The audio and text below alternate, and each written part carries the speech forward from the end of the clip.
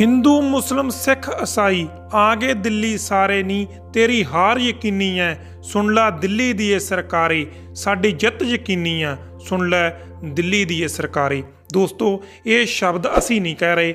ਇਹ ਸ਼ਬਦ ਮਹਿਰੂਮ ਗਾਇਕ ਸਰਦੂਲ ਸਿਕੰਦਰ ਨੇ ਆਪਣੇ ਇਸ ਸੰਸਾਰ ਨੂੰ ਅਲਵਿਦਾ ਕਹਿਣ ਤੋਂ ਕੁਝ ਮਹੀਨੇ ਪਹਿਲਾਂ ਕਹੇ ਸੀ। ਯਾਨੀ ਕਿ ਜਨਵਰੀ ਮਹੀਨੇ ਦੇ ਵਿੱਚ ਸਰਦੂਲ ਸਿਕੰਦਰ ਸਾਡੇ ਕਿਸਾਨਾਂ ਦੇ ਨਾਲ ਸੰਘਰਸ਼ ਦੇ ਵਿੱਚ ਮੋਢੇ ਦੇ ਨਾਲ ਮੋਢਾ ਜੋੜ ਕੇ ਖੜੇ ਸੀ। ਉਸ ਟਾਈਮ ਸਰਦੂਲ ਸਿਕੰਦਰ ਨੇ ਇਹਨਾਂ ਸ਼ਬਦਾਂ ਰਾਹੀਂ ਕਿਸਾਨਾਂ ਦੀ ਸਪੋਰਟ ਕੀਤੀ ਸੀ। ਦੋਸਤੋ, ਤੁਸੀਂ ਇਹ ਜਾਣ ਕੇ ਹੈਰਾਨ ਹੋ ਜਾਓਗੇ ਕਿ ਸਰਦੂਲ ਸਿਕੰਦਰ ਸਾਡੇ ਕਿਸਾਨਾਂ ਦੇ ਲਈ ਕਿਸ ਤਰ੍ਹਾਂ ਤਣੋ ਮਣੋ ਉਹਨਾਂ ਦੇ ਸੰਘਰਸ਼ ਦੇ ਵਿੱਚ ਉਹਨਾਂ ਦਾ ਸਾਥ ਦੇ ਰਹੇ ਸੀ। ਇੱਥੇ ਦੋਸਤੋ, ਦੱਸ ਦਈਏ ਕਿ ਸਰਦੂਲ ਸਿਕੰਦਰ ਦੀ ਸਿਹਤ ਜਨਵਰੀ 2021 ਦੇ ਵਿੱਚ ਵੀ ਪੂਰੀ ਤਰ੍ਹਾਂ ਫਿੱਟ ਨਹੀਂ ਸੀ। ਪਰ ਸਰਦੂਲ ਸਿਕੰਦਰ ਨੇ ਇਹ ਸਮਝਿਆ ਕਿ ਉਹਨਾਂ ਦਾ ਇਹ ਫਰਜ਼ ਬਣਦਾ ਕਿ ਉਹ ਕਿਸਾਨਾਂ ਦਾ ਸਾਥ ਦੇਣ। ਸੋ ਉਹ ਖਰਾਬ ਸਿਹਤ ਦੇ ਬਾਵਜੂਦ ਵੀ ਕਿਸਾਨਾਂ ਦੇ ਨਾਲ ਜਾ ਕੇ ਖੜੇ ਤੇ ਉਹਨਾਂ ਨੇ ਉਸ ਆਪਣੀ ਆਖਰੀ ਇੰਟਰਵਿਊ ਦੇ ਵਿੱਚ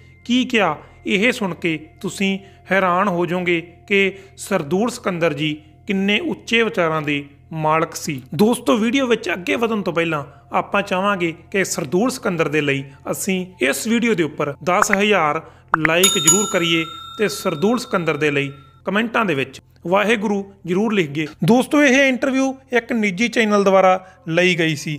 ਦੋਸਤੋ, ਜਦੋਂ ਐਂਕਰ ਨੇ ਸਰਦੂਲ ਸਿਕੰਦਰ ਨੂੰ ਪੁੱਛਿਆ ਕਿ ਤੁਹਾਡੀ ਸਿਹਤ ਕਿਵੇਂ ਆ, ਤਾਂ ਤੁਸੀਂ ਹੈਰਾਨ ਹੋ ਜਾਓਗੇ ਕਿ ਸਰਦੂਲ ਸਿਕੰਦਰ ਸਾਹਿਬ ਨੇ ਕਿੰਨੇ ਹੌਸਲੇ ਦੇ ਵਿੱਚ ਜਵਾਬ ਦਿੱਤਾ। ਉਹਨਾਂ ਨੇ ਕਿਹਾ ਕਿ ਮੇਰੇ ਗੋਡੇ ਤੇ ਸੱਟ ਲੱਗੀ ਹੋਈ ਆ, ਪਰ ਇਹ ਗੱਲ ਵੀ ਨਹੀਂ ਕਿ ਆਪਣੇ ਗੋਡੇ ਦੀ ਸੱਟ ਦਾ ਬਹਾਨਾ ਲਾ ਕੇ ਮੈਂ ਘਰ ਬੈਠ ਜਾਵਾਂ। ਨਾਲ ਹੀ ਉਹਨਾਂ ਨੇ ਕਿਹਾ ਕਿ ਸਰਕਾਰਾਂ ਨੂੰ ਇਹ ਗੱਲ ਸਮਝ ਜਾਣੀ ਚਾਹੀਦੀ ਆ ਕਿ ਜੇਕਰ ਕਿਸਾਨ ਤੇ ਜਵਾਨ ਆ, ਤਾਂ ਹੀ ਹਿੰਦੁਸਤਾਨ ਆ। ਦੋਸਤੋ, ਜਦੋਂ ਸਰਦੂਲ ਸਾਹਿਬ ਤੋਂ ਇਹ ਪੁੱਛਿਆ ਗਿਆ ਕਿ ਅਸੀਂ ਅੱਜ ਇਹ ਲੜਾਈ ਲੜ ਰਹੇ ਆ, ਜੇਕਰ ਤੁਸੀਂ ਸਰਕਾਰੇ ਦੁਆਰੇ ਹੁੰਦੇ, ਭਾਵ ਕਿ ਤੁਸੀਂ ਰਾਜਨੀਤੀ ਦੇ ਵਿੱਚ ਹੁੰਦੇ, ਤਾਂ ਤੁਸੀਂ ਕਿਸਾਨਾਂ ਦੇ ਲਈ ਕੀ ਕਰਦੇ? ਤਾਂ ਸਰਦੂਲ ਜੀ ਨੇ ਕਿਹਾ ਸੀ ਪਹਿਲਾਂ ਤਾਂ ਮੈਂ ਇਸ ਲਾਈਨ ਦੇ ਵਿੱਚ ਹੀ ਨਾ ਆਉਂਦਾ। ਮੈਂ ਉਹਨਾਂ ਲੋਕਾਂ ਦੇ ਸਖਤ ਖਿਲਾਫ ਹਾਂ ਜੋ ਲੋਕਾਂ ਦੀ ਵੋਟ ਤੇ ਲੋਕਾਂ ਦੀ ਸਪੋਰਟ ਲੈ ਕੇ ਬਾਅਦ ਵਿੱਚ ਉਹਨਾਂ ਦੀ ਗੱਲ ਨਹੀਂ ਸੁਣਦੇ ਤੇ ਜਿਵੇਂ ਹੀ ਉਹਨਾਂ ਦੇ ਹੱਥ ਪਾਵਰ ਆਉਂਦੀ ਆ ਤਾਂ ਆਪਣਾ ਬੈਕਗ੍ਰਾਉਂਡ ਭੁੱਲ ਜਾਂਦੇ ਆ ਤੇ ਚੌਧਰ ਦੇ ਉੱਪਰ ਹੋ ਜਾਂਦੇ ਆ। ਸੋ ਇਸੇ ਕਰਕੇ ਮੈਂ ਰਾਜਨੀਤੀ ਤੋਂ ਕੋਹਾਂ ਦੂਰ ਰਹਿਣਾ ਹਾਲਾਂਕਿ ਮੈਨੂੰ ਹਮੇਸ਼ਾ ਰਾਜਨੀਤਿਕ ਪਾਰਟੀਆਂ ਵੱਲੋਂ ਇਸ ਤਰ੍ਹਾਂ ਦੇ ਆਫਰ ਆਉਂਦੇ ਆ ਤੇ ਕਿਹਾ ਜਾਂਦਾ ਕਿ ਤੁਸੀਂ ਟਿਕਟ ਲਓ ਤੇ ਤੁਹਾਨੂੰ ਪਾਰਟੀ ਦੇ ਵਿੱਚ ਮੰਤਰੀ ਬਣਾ ਦਿੱਤਾ ਜਾਊਗਾ। ਪਰ ਮੈਂ ਸਮਝਦਾ ਕਿ ਐਮਐਲਏ ਜਾਂ ਐਮਪੀ ਤਾਂ ਸਿਰਫ 5 ਸਾਲ ਦੇ ਲਈ ਹੁੰਦੇ ਆ। ਸਾਨੂੰ ਤਾਂ ਪਿਛਲੇ 30 ਸਾਲਾਂ ਤੋਂ ਲੋਕਾਂ ਨੇ ਪਿਆਰ ਤੇ ਸਤਿਕਾਰ ਦਿੱਤਾ।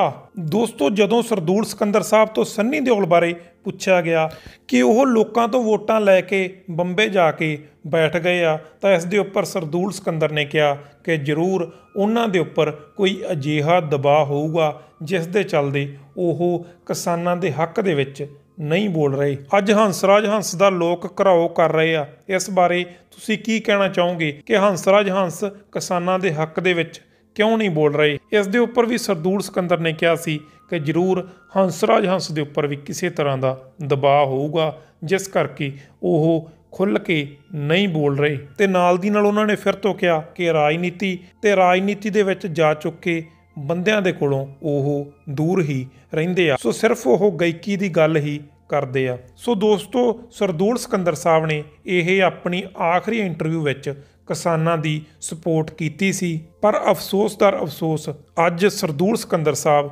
ਸਾਡੇ ਵਿੱਚ ਨਹੀਂ ਰਹੇ। ਉਹ ਸਾਫ਼ ਸੁਥਰੇ ਤੇ ਦਿਲ ਦੇ ਸੱਚੇ ਇਨਸਾਨ ਸੀ ਤੇ ਕਿਸਾਨਾਂ ਦਾ ਦਰਦ ਉਹਨਾਂ ਤੋਂ ਦੇਖਿਆ ਨਹੀਂ ਗਿਆ। ਸੋ ਉਹ ਕਿਸਾਨਾਂ ਦਾ ਸਾਥ ਲਗਾਤਾਰ ਦੇ ਰਹੇ ਸੀ। ਸੋ ਆਪਾਂ ਚਾਹਾਂਗੇ ਕਿ ਪ੍ਰਮਾਤਮਾ ਉਹਨਾਂ ਨੂੰ ਆਪਣੇ ਚਰਨਾਂ ਦੇ ਵਿੱਚ ਨਿਵਾਸ ਬਖਸ਼ੇ। ਸੋ ਦੋਸਤੋ, ਤੁਸੀਂ ਸਰਦੂਲ ਸਿਕੰਦਰ ਸਾਹਿਬ ਦੇ ਲਈ ਇੱਕ ਲਾਈਕ ਤੇ ਕਮੈਂਟ ਜ਼ਰੂਰ ਕਰਨਾ। ਵੀਡੀਓ ਨੂੰ ਵੱਧ ਤੋਂ ਵੱਧ ਸ਼ੇਅਰ ਕਰਨਾ, ਹੋਰ ਵੀਡੀਓਜ਼ ਦੇ ਲਈ ਆਪਣੇ ਚੈਨਲ ਨੂੰ ਜਰੂਰ ਸਬਸਕ੍ਰਾਈਬ ਵੀ ਕਰਨਾ। ਆਪਾਂ ਹਰ ਰੋਜ਼ ਨਵੀਆਂ ਵੀਡੀਓਜ਼ ਲੈ ਕੇ ਆਉਂਦੇ ਰਹਿੰਦੇ ਹਾਂ। Thank you so much